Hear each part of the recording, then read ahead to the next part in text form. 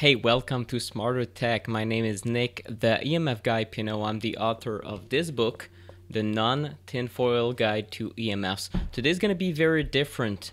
This episode is a short 10 minute presentation, and I'm timing it so I'll have 8 to 9 minutes to tell you why cell phones are not safe and why radio frequency radiation that most people think is perfectly safe is not, and why you should create distance between your face and your phone. So, this presentation is for you if you're a skeptic and you're really wondering what the heck I'm talking about, or if you have skeptics in your family, friends, colleagues. Uh, there are different circles in your life, and you want to share this information with them so they can uh, make up their own mind.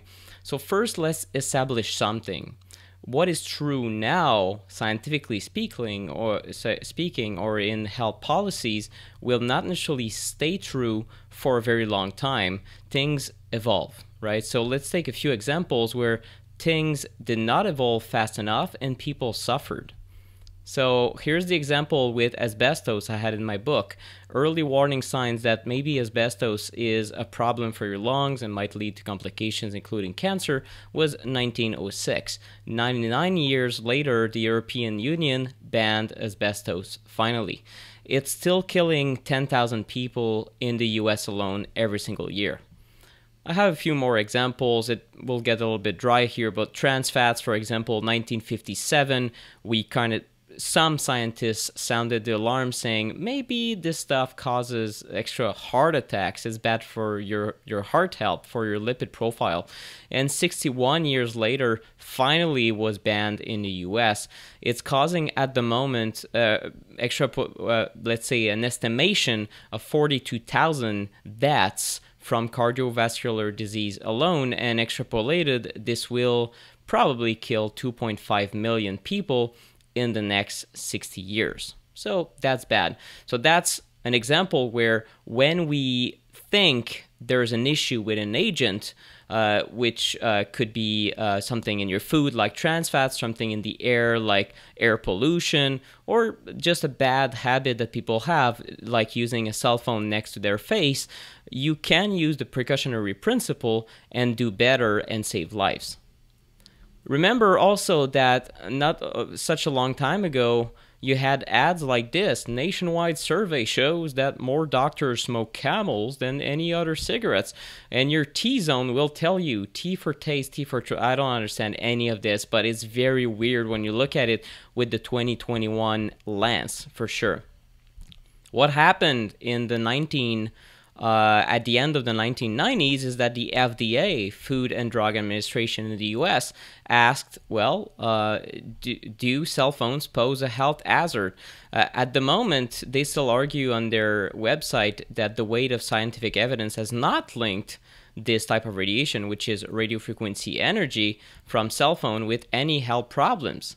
Here's the problem the NTP study, Nas- National Toxicology Program, which uh, basically uh, delivered their final results in 2018, showed the exact opposite the FDA mandated the NTP to study this stuff. They wanted to know in rats and mice does cell phone radiation and let's say the equi- the human uh, equivalent of talking 30 minutes per day for 36 years uh, does it cause extra tumors? And they said, well, couldn't get clearer than that. Clear evidence of cancer.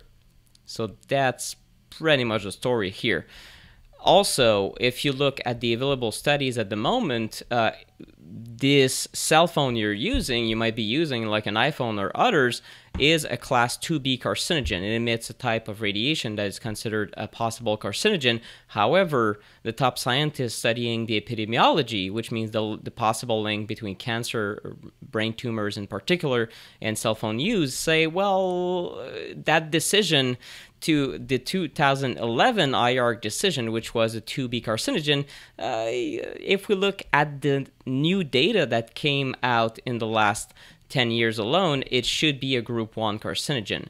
If it were to be reclassified as a group 1 carcinogen, it would be in the same category as these guys, the cigarettes, or these guys, the asbestos. So, something to think about.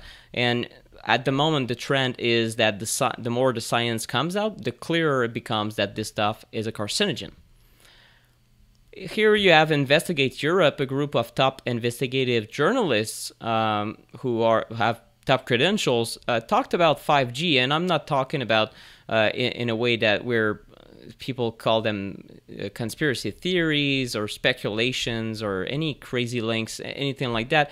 Uh, I hate these words anyway, but the story is that a very relatively mainstream group of investigative journalists look at the question of 5G and they said, you know what, the biggest problem is that we don't know what this stuff will do to us, but what we do know is that there's industry funding and that it will influence the outcomes of study. In other words, the more uh, funded by industry certain studies are, the more likely they are to show that there's no link between cell phones and ill health effects. So we have cancer as a reason why you shouldn't use your phone right next to your face.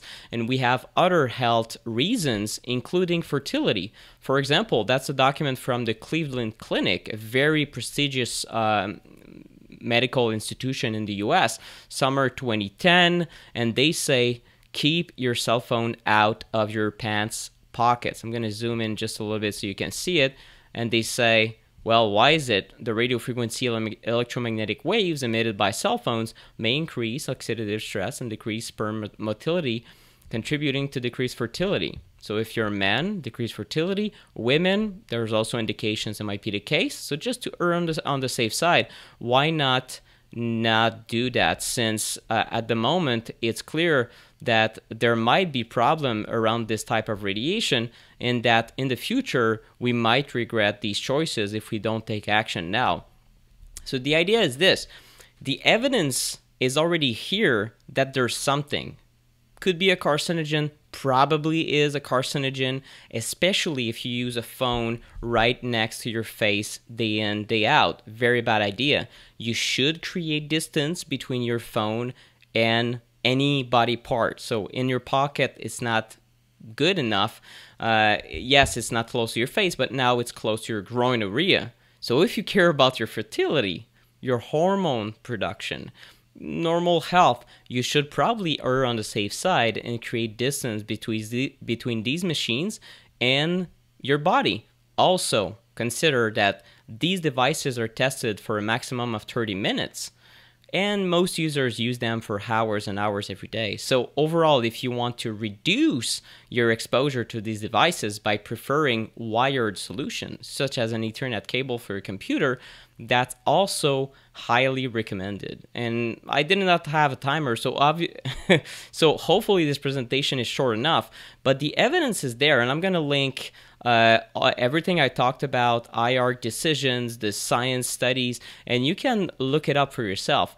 The message is not to become dogmatic and to hide in the cave, never use technology again. And that was I think the, the the gist of the message I've been trying to share for the last four to five years in my professional work as an advocate for safe technologies. But it is to adopt the precautionary principle and minimize your use of these devices and minimize how much you rely on wireless.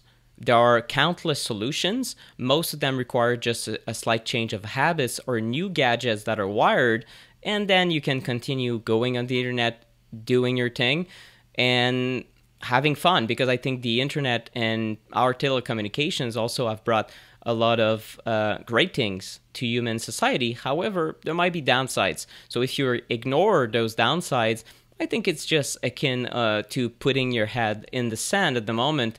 Uh, just like it happened with asbestos and cigarettes and DDT and so many other agents. So let's let's not uh, forget history. And right now, start being uh, ring on the safer side. So I hope you liked this presentation. If you did, share it widely and um, see you next time. Bye bye.